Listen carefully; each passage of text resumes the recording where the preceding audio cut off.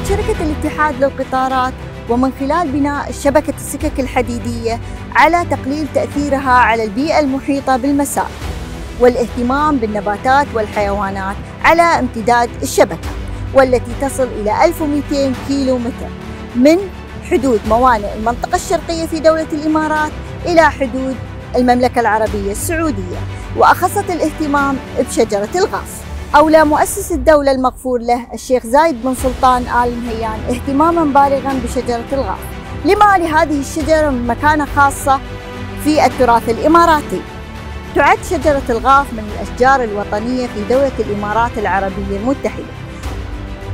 كما نولي نحن شركة اتحاد القطارات اهتماما بالغا لشجر الغاف بالتعاون مع السلطات المختصة للالتزام بإجراءات الزرع التي تنصح بها لضمان أن يكون لهذا المشروع الحد الأدنى من التأثير البيئي.